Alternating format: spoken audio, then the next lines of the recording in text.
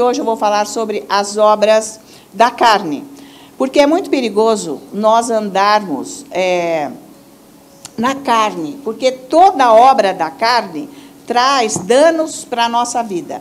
Acaba nos levando para uma condição de vida, gente, desastrosa se nós andamos na carne. Por isso que o Paulo é tão enfático quando ele diz que é para nós andarmos no espírito.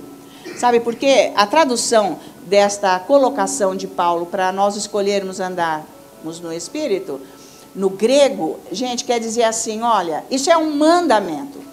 Sabe, eu ordeno vocês que façam isso, escolham andar no Espírito. É, ele foi tão enfático porque é importante andarmos no Espírito para só nós levarmos vantagens. Principalmente agora, nesses tempos que as coisas estão difíceis das trevas. As trevas é o que? É todo o modo de vida sem Deus. Então vamos abrir a nossa Bíblia em Gálatas, capítulo 5. Veja só o versículo 15. O que, que ele está dizendo aqui? Se vós, porém, vos mordeis e devorais uns aos outros, vede que não sejais mutuamente destruídos. Então, veja isso aí.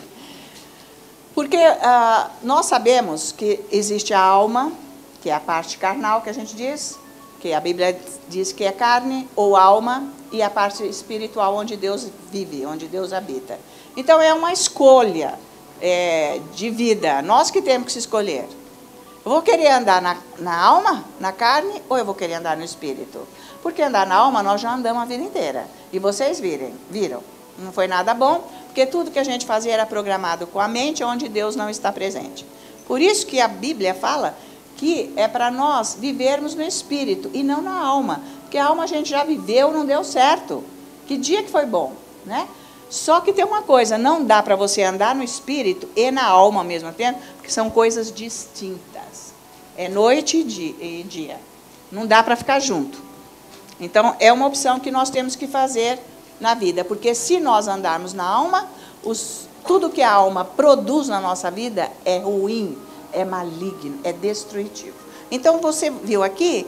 Se vós, porém, vos mordeis, veja só isso aqui, e devorais uns aos outros, vede que não sejais mutuamente destruídos. Gente, morder é com o quê? Com o dente. né? Morder é com o dente. Por isso que ele fala é, que não é para nós, é, ele usa essa palavra aqui, morder, porque as palavras quando elas são destrutivas, é igual uma mordida. Arranca pedaço, destrói, né, gente?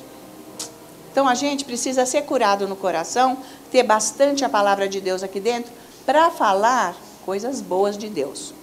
Coisas de Deus, não é pensamento positivo, não é palavra positiva. Apesar que a palavra de Deus é uma palavra, obviamente, positiva, mas é uma palavra verdadeira, ela é a verdade. Então nós precisamos tomar muito cuidado é, com isso daí tá? Porque quando nós estamos numa condição carnal, os relacionamentos são hostis, gente. Então, por isso que nós precisamos do Espírito Santo. Porque eu nem sei orar para que área da minha vida que eu preciso de mais tratamento do Espírito Santo. Para eu andar na santidade de Deus, na visão de Deus, não andar nada na carne, nada de trevas, nada do diabo. Vocês estão acompanhando?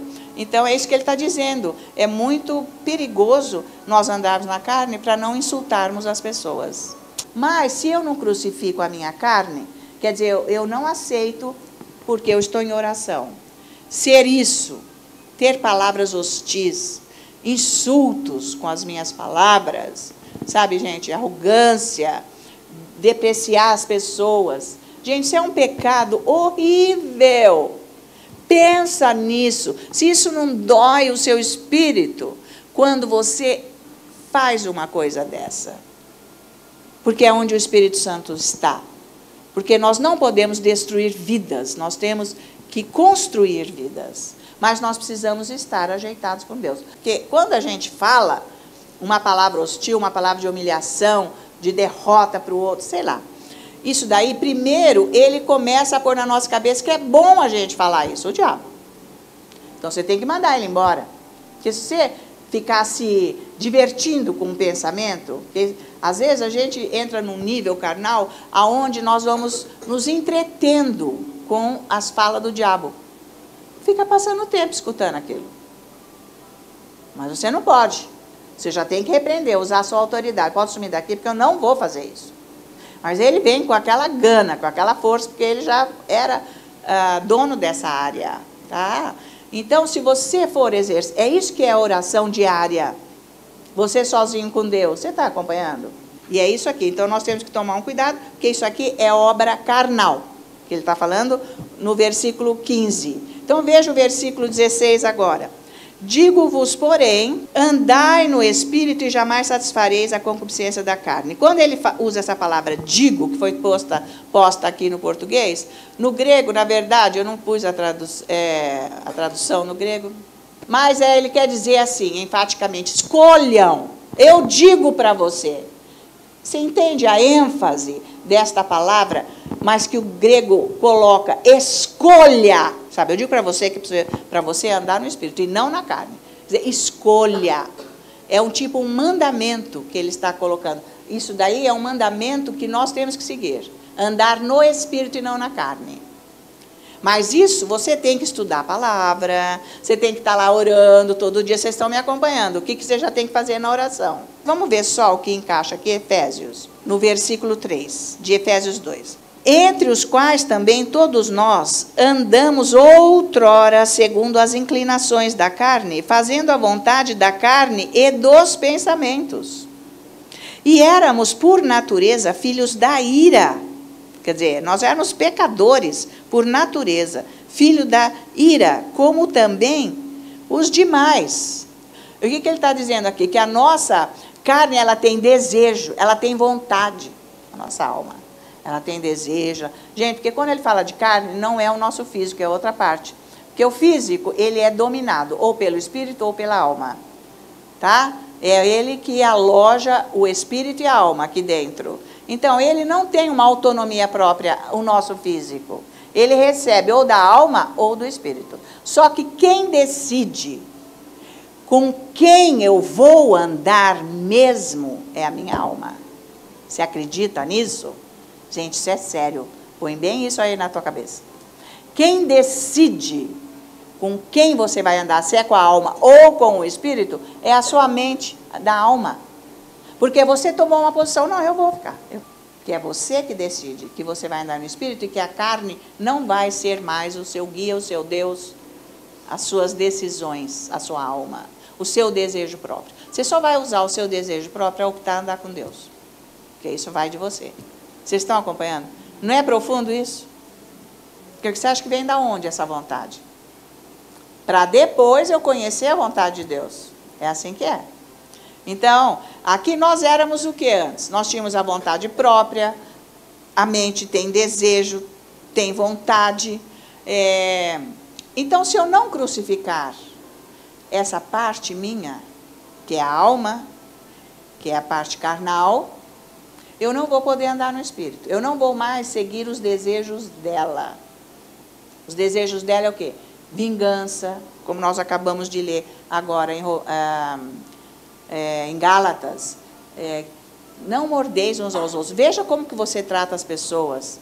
Então, se eu ando na carne, tanto faz, eu, eu, essa pessoa merece que eu fale isso. Você não está se enxergando? E pois eu vou te falar. E lá, lá, ali faz um discurso de maldade que nós somos capazes de fazer isso.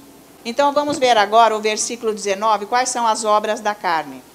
Ora, as obras da carne são conhecidas e são prostituição, impureza, lascívia, idolatria, feitiçarias, inimizades, porfias, ciúmes, iras, discórdias, dissensões, facções, invejas, bebedices, glutonarias e coisas semelhantes a estas, a respeito das quais eu vos declaro, como já outrora vos preveni, que não herdarão o reino de Deus os que tais coisas praticam.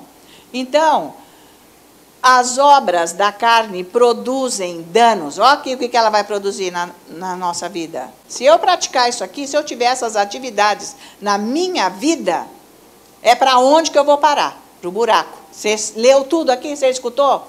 Se eu praticar uma delas, é para o buraco que eu vou. A atividade destas obras carnais me levam para o buraco. Me destroem, destroem a minha vida. Vocês estão acompanhando? Então, se não pararmos com as obras da carne, veja onde nós vamos parar. Estão me acompanhando? Gente, é uma destruição. Pelo amor de Deus. Você tem que se corrigir todo dia. Entregar sua vida a Jesus todo dia. Ficar na presença. Eu não aceito, esse diabo sai da minha vida. Eu não quero, você vai sair da minha vida. Você não vai me destruir mais. Você tem autoridade, porque você nasceu de novo. O seu espírito nasceu de novo. Deus te deu um espírito recriado, nascido de novo, com a natureza dele, para você usar a autoridade. Jesus falou: Eis que vos dou toda a autoridade sobre todo o poder do mal no meu nome. Então você vai falar para o mal que está. Diabo, tira a mão. Que nem no caso dos seus negócios. Diabo, você quer tirar a mão dos meus negócios hoje? Em nome de Jesus? Você vai sair. Por isso que Paulo exorta bem aqui: anda no espírito. Então, agora nós vamos ver o que é andar na carne é, sobre um líder religioso que a Bíblia fala e cita em três lugares aqui, que ele se chama Demas. Vamos então ver em Colossenses, capítulo 4. O que é andar na carne? Porque existe esse problema aqui, tá? Vocês estão aqui, vocês estão crescendo espiritualmente, estão servindo o Senhor, e agora vocês tomam cuidado. Porque já aconteceu e acontece, a história é sempre a mesma. O diabo vem, hein? E ele ele está já de espreita, para ver que jeito que ele vai atacar cada um. É só não dar bola. É só viver no espírito, tá certo? Então, versículo 14 de capítulo 4 de Colossenses, ele diz, olha aqui, Paulo falando aqui: Saúda-vos Lucas, o médico amado, e também Demas. Ele está mandando saudações. Depois vamos para Filemon, mais aqui para frente um pouquinho versículo 23 e 24. Olha só. Saúdam-te Epáfras, prisioneiro comigo em Cristo Jesus, Marcos, Aristarco, Demas, estou falando de Demas, e Lucas, meus cooperadores, colaboradores, aqueles que andam comigo, estamos associados. Então, Demas, junto, está sempre junto, é um super-homem de Deus. Depois, 2 Timóteo, é, capítulo 4 também, versículo 9. Agora ele diz assim: procura vir ter comigo, está falando para Timóteo, procura vir ter comigo bem depressa, rapidamente, se possível, urgente. É uma causa de urgência. Ele está falando isso no 9. No 9. No grego quer dizer isso, procura vir ter comigo depressa, é assim, é urgente, vem correndo se possível, vem já, nesta hora. Porque nós vamos ver agora uh, o versículo 10. Porque Demas, o mesmo que nós já vimos nas três citações, tendo amado o presente século, me abandonou e se foi para Tessalônica. Crescente foi para a Galácia, Tito para a Dalmácia. Então, o mesmo Demas que acompanhava Paulo, que escreveu a carta aos Colossenses, ele é um dos escritores que o Espírito Santo deu a palavra para ele escrever, como Paulo, como Tiago, como Pedro, como João. Demas, um cara nobre espiritualmente, largou, inventou uma coisa na vida dele, porque andou na carne.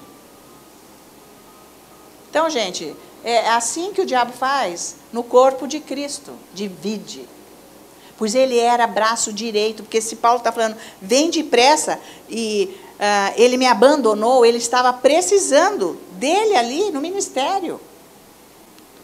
Porque é fácil, o diabo entra com mil jeitos para destruir. Então, nós temos aqui todo esse exemplo, tá?